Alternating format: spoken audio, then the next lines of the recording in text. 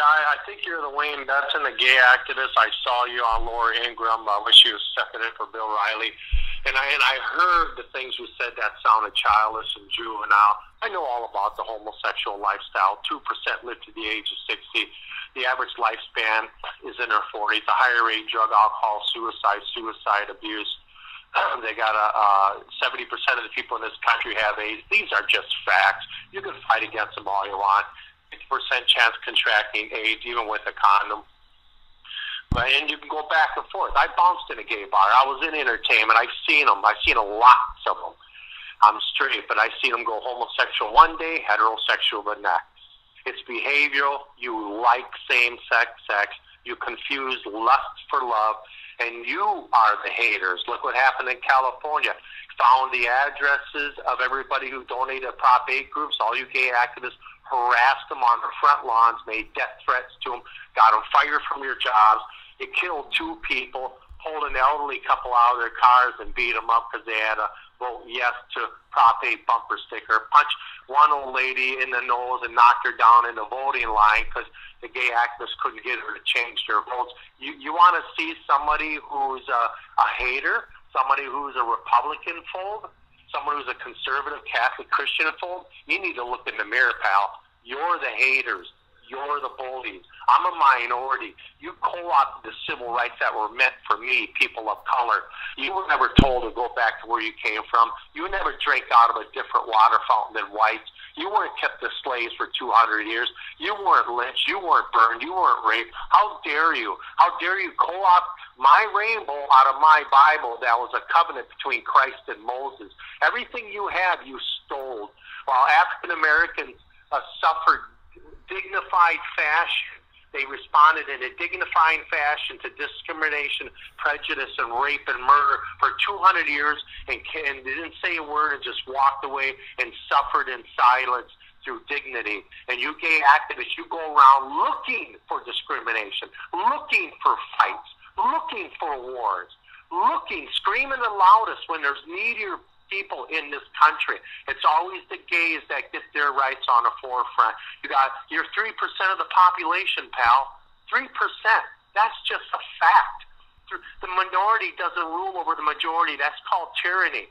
You oh, you have as much rights as I do as a gay, as a straight man. You can't marry in some states a gay man. I can't marry in some states a gay man.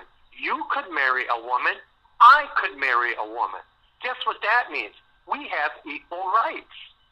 So you're the bullies. You're the you're the ones shutting down restaurants. Plus, you teach your viewpoints to our children, a captive audience in the classroom, with innocent minds, not fully formed minds, from kindergarten on up.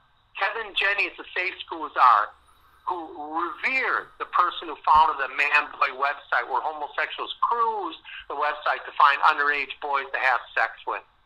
I don't believe for a minute that you live your lifestyle just devoted to your partner. Maybe you're the exception to the rule. I know how they live. I see what they do. I had a business partner who lived that lifestyle.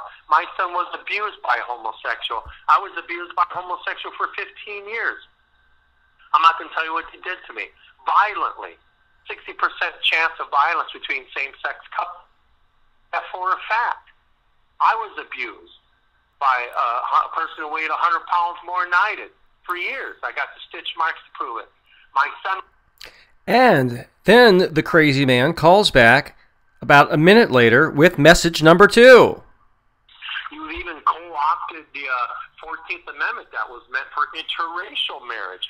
The 14th Amendment was for it was for religion, it was for your demographic, your nationality, it was for uh, it had nothing. It did. I read it. I can't remember all of it, but I went over it carefully, and there's nothing in there about sexual orientation. Nothing. It's race. It's religion. Religion. It's national origin, and that's about it.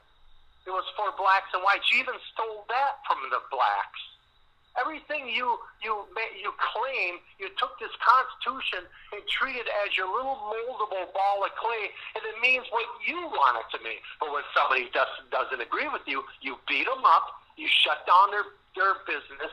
In the church I went to, a bunch of gay activists surrounded it, a clear cut case of trespassing voter intimidation right on church property, wore the rainbow sashes inside the Mass, desecrated the Mass, created a hostile environment with a Mass, had a bullhorn, 70 of them, scaring the hell out of the old people. This is not how victims react.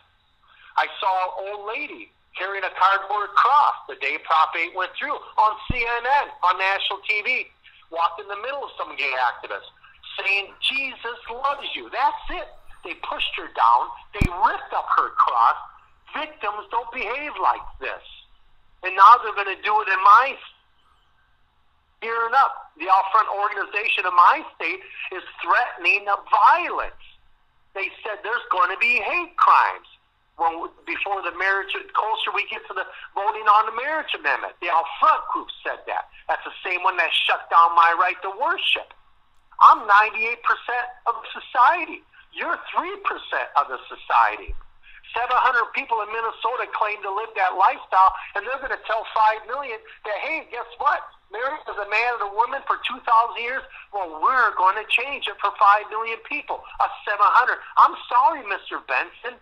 You enjoy everything your lifestyle has to offer. You can marry all you want. Your lifestyle can get cured through counseling. Dr. Robert Cohen, I think his name, psychotherapist who lived the lifestyle for 16 years, got cured for counseling because he chose to.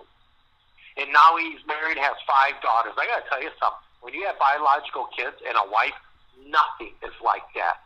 You think you're in love with your partner? I guarantee you, if you got cured, if you went to counseling, and you married a woman, had your biological kids, and I met a lot of people who did, and they all said the same thing when they lived that lifestyle. They said, I thought I loved my partner. It was nothing like this. And that's a fact. God ordained it. God created it. It's something that's not visual. You can't see it, but it's a bond that's there. It's mysterious, but it's there. Only God can explain it, and there is a creator. And the God is the bride groom, and the church is the bride. Everything Christ created is symbolizes marriage, symbolizes family. The family is symbolism for the triune God. The Virgin Mary is symbolism for for virginity and abstinence till you're married. And and I'm sorry, but you're just wrong. The haters and the bullies and the murderers and the abusers and the assaulters are the homosexual group.